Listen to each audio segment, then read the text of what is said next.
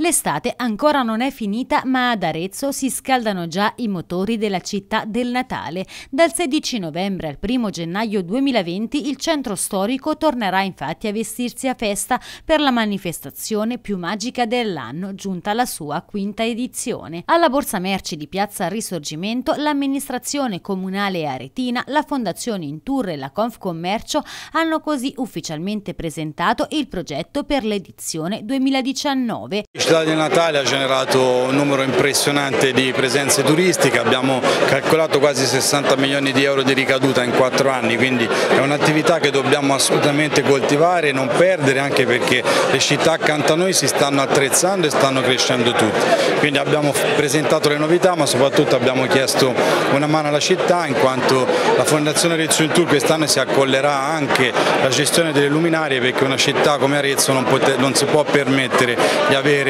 100 luminarie tutte diverse, quindi aiuteremo un po' a migliorare anche quello che è il decoro urbano di, di tutte le strade periferiche, in più tante novità, il prato che raddoppiano le casine e tante attività collaterali. Novità anche per quanto riguarda la parte bassa del centro aretino che ospiterà da quest'anno le casette di legno in tutto e per tutto uguali a quelle nella parte alta della città. Diciamo è strategico la riqualificazione del mercato di San Jacopo Risorgimento che diventerà il polo della parte bassa della città e lavoreremo per comunicare al turista di visitare tutta la città, quindi partendo dai bastioni arrivando ovviamente al Prato. In più stiamo cercando anche di migliorare quella che può essere la lateralità del Natale in modo che questa mole di persone possa sfruttare tutte le nostre attività eh, commerciali del centro storico.